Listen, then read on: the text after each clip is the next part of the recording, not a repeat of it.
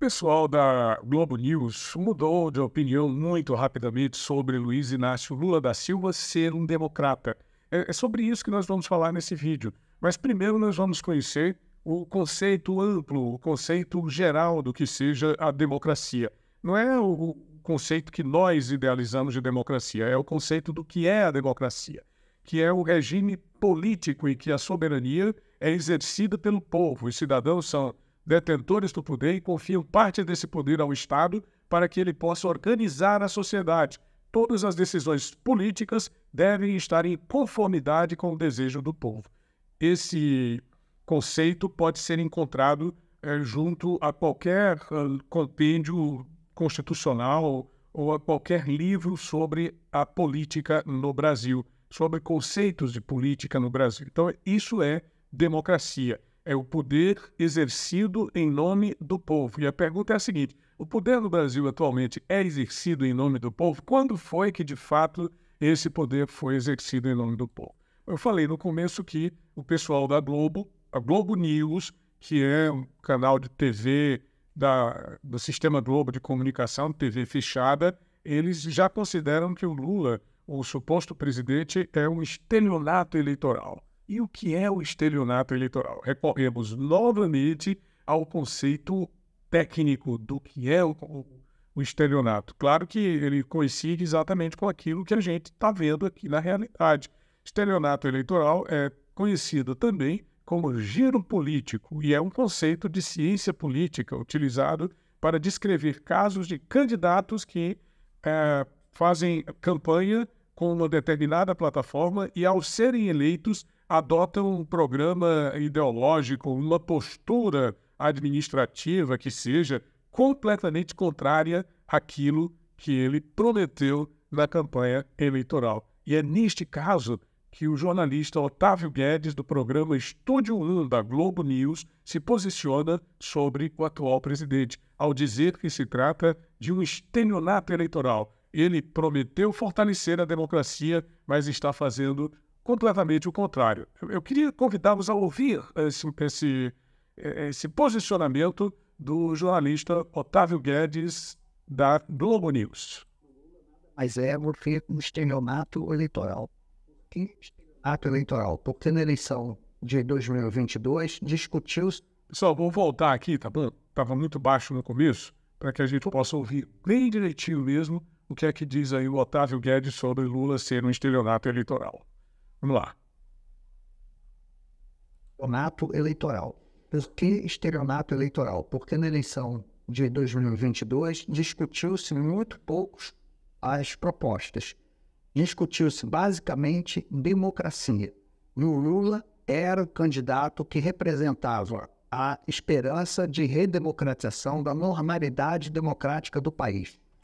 Veja bem, o Lula representa a normalidade democrática do país. Por quê? Porque, segundo aqui o Otávio Guedes, as pessoas fizeram vista grossa para o fato do Lula ser um ladrão, as pessoas sabiam que ele é um ladrão, mas votaram nele porque ele representava a antítese do que, do que era o Bolsonaro. Ou seja, Bolsonaro era um cara antidemocrático, Lula representava a democracia.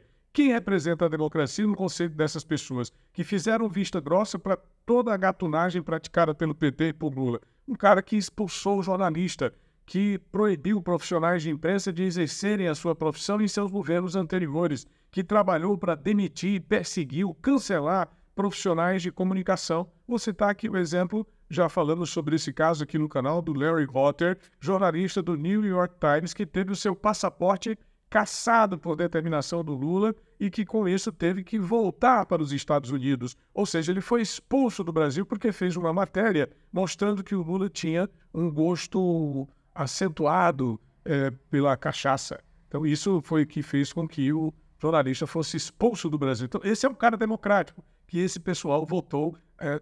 Vamos, vamos aqui continuar ouvindo Otávio Guedes. Por conta da democracia. Muita gente que não gosta do PT, acha o PT é um partido ruim, votou no Lula por conta da democracia. Muita gente que detesta Lula, PT esquerda, votou no Lula nessa eleição porque Lula, é democrata, imagine. Muito parecido com Maduro, alguém que relativizava a democracia.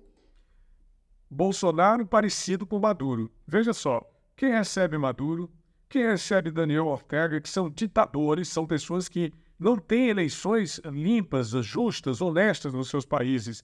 A oposição é proibida de disputar eleições. Eles fazem eleições apenas para supostamente dar uma aparência de legalidade ao processo, dar uma aparência de, para poderem dizer eh, para os outros países que estão fazendo a democracia, o que é uma grande mentira. Perseguição à opinião contrária, perseguição a jornais, a jornalistas, fechamento de emissões de rádio e televisão, empastelamento de jornais, coisa do século XVIII, do século XIX. Os opositores têm os seus direitos políticos caçados para não disputar eleições, exatamente como aconteceu agora com o ex-presidente. Esse é um cara democrata, né? quer dizer, o democrata é o Lula, mas o, o Bolsonaro é o antidemocrata porque ele é que simbolizava o Maduro. Veja só como, como esse pessoal, o conceito desse pessoal é completamente louco, completamente equivocado. Durante a campanha eleitoral, a maior reclamação do e do PT foi o que eles chamavam de falsa equivalência. Né? Não pode é, colocar o Lula equivaler a um Bolsonaro, porque o Não, porque é um Lula é um democrata. Bolsonaro não está. É um amigo do Maduro, Durante que é um cara. Esse é um democrata. Relativizar o que é democracia, ele está dando um tapa na cara, por exemplo, de todas as pessoas que reagiram quando o Bolsonaro fez a reunião com os embaixadores e teve a movimentação da sociedade civil em defesa do quê? Da democracia, como um conceito que não é relativo. Quem relativizou a democracia o tempo inteiro foi Bolsonaro. E agora, na retórica, ele se iguala. Então, diante Bolsonaro relativizou a democracia ao permitir que os jornais o xingassem todos os dias, ao permitir que o Congresso é, fizesse CPIs que são completamente alheias à realidade, atentatórias à questão dos fatos propriamente ditos, como foi o caso da CPI do circo, ou CPI do Covid. Quer dizer, esse era um cara antidemocrático. O Lula não, o Lula é um democrata, é um amigo do Maduro. Então tá aí o conceito que o pessoal da Globo News através aqui do Otávio Guedes, manifesta sobre o Lula e sobre o Bolsonaro. Bolsonaro não democrata, Lula democrata, e na prática, quer dizer, enquanto o Bolsonaro governou, não houve perseguição a jornalistas. Enquanto o Bolsonaro governou, não houve tentativa de cassação de emissoras, como agora a gente está vendo com a Jovem Pan. Jovem Pan está aí sendo uh, a, sua, a sua concessão perseguida por procuradores que assinaram a tal Carta pela Democracia, portanto, são procuradores lulistas. Vamos só fechar aqui para o que disse o Otávio Guedes. Antes das circunstâncias da eleição de 1922, a fala do Lula é um 2022, exato. Ainda dizia Lula é um estelionato eleitoral. Aí o Otávio Guedes, o, o Ciro, Ciro Nogueira, o senador Ciro Nogueira, que foi ministro da Casa Civil no governo Bolsonaro, fez um comentário aqui. Inclusive é uma postagem da sua rede social esse, esse trecho, esse recorte da fala do Otávio Guedes. A ficha caiu, mas só agora a Lula sempre foi o candidato de Maduro. Foram os governos petistas que mandaram dinheiro e financiaram essas ditaduras com a construção de portos, de metrôs. Ah, mas na campanha ninguém podia falar disso, era proibido. Sim, de fato, o Tribunal Superior Eleitoral a, adotou uma providência segundo a qual não podia se criticar o candidato da esquerda, o candidato do PT, o senhor Lula, falando sobre sua relação com as ditaduras latino-americanas e com o envio de recursos do BNDES para essas ditaduras, para financiar obras nesses lugares, enquanto aqui no Brasil nós padecemos de uma carência tremenda de infraestrutura. A campanha era para falar de amor, mesmo que esse amor fosse tão relativo como a democracia de Lula. Lula não é um democrata, sem dúvida nenhuma, não é um democrata. Portanto, eu não acredito na tese do estelionato eleitoral. Ele não enganou ninguém. Ele disse na campanha aquilo que os políticos dizem para fazer uma campanha, para passar uma campanha. Mas, na verdade, todos já sabiam, sabíamos, aliás, todos, de quem se tratava esse senhor, senhor Lula da Silva. Eu queria tratar também nesse vídeo sobre os nomes de Bolsonaro para 2026, uma, uma vez que agora ele se tornou inelegível por determinação do Tribunal Superior Eleitoral, presidido pelo senhor Alexandre de Moraes, que fez todas aquelas medidas para o 22 milhões, a multa do PL, julgamento iniciado no dia 22, 22 o número do Jair Bolsonaro, e dizem ainda que não é uma questão política, que não é uma questão partidária, que não é uma questão comandada por partido e pessoal contra o ex-presidente.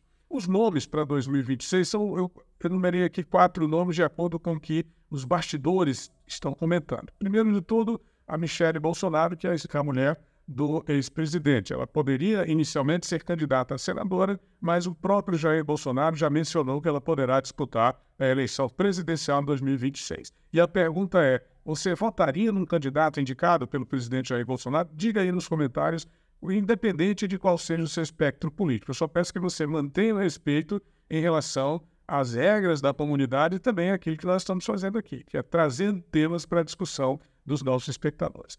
O Tarcísio de Freitas, que é o governador de São Paulo, mas ele próprio já está dando sinais e indicações de que pretende deixar isso mesmo para que o Bolsonaro defina e que ele ficaria lá no seu canto, lá em São Paulo, governando São Paulo, e seria candidato. É uma coisa para se discutir daqui a dois anos e meio, três anos e meio. Quem antecipou isso foi o PT, quem antecipou isso foi a esquerda, quem antecipou isso foi essa decisão estapafúrdia do Tribunal Superior Eleitoral.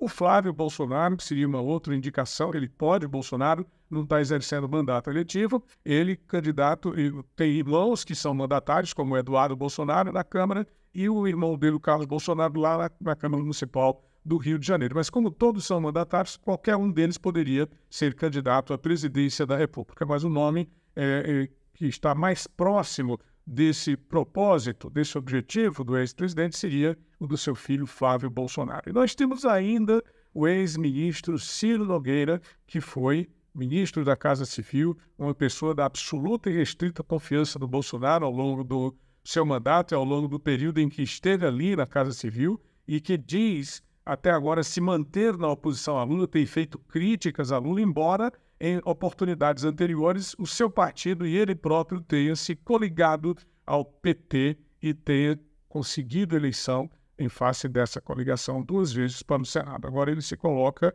ah, frontalmente a favor de Bolsonaro contra o espectro ideológico da esquerda, Lula e do PT. Poderia, e poderia ser indicado, sim, candidato a presidente da República. São especulações, claro, ainda tem muito tempo para se discutir isso. O presidente vai fazer uma caravana pelo Brasil para se aproximar mais das pessoas, visitar os estados, as principais cidades, vai tratar sobre a eleição municipal para tentar fazer com que o PL eleja pelo menos mil prefeitos municipais nas eleições de 2024 e também vai ter uma agenda internacional muito extensa com líderes políticos da direita que serão uh, agendados através do seu filho Eduardo Bolsonaro. Então, pessoal, é isso. Esse é o nosso vídeo de hoje. Se você gostou, deixe seu comentário e verifique a sua inscrição aqui no nosso canal, tá bom? Tony Rodrigues, além da notícia.